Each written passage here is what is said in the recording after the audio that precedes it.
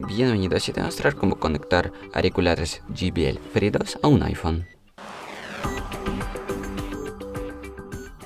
Bueno, pero primero abrimos el estuche y sacamos dos o dos o uno auriculares, bueno, da igual. Si queréis como poner dos auriculares en una oreja, pues bueno, les ponéis dos. Y ahora, más importante, tenemos que presionar, bueno, presionar, pulsar aquí dos veces para que se conecten. Uno y dos. Ahora iremos a aplicación ajustes en iPhone. Perdón. Y aquí iremos a Bluetooth. Tenemos que conectárselo, poner para que conectar. Y aquí como vemos tenemos otros dispositivos JBL feridos y solamente conectamos. Y así ya como vemos, hemos conectado vuestros auriculares JBL feridos a un iPhone. Y es todo.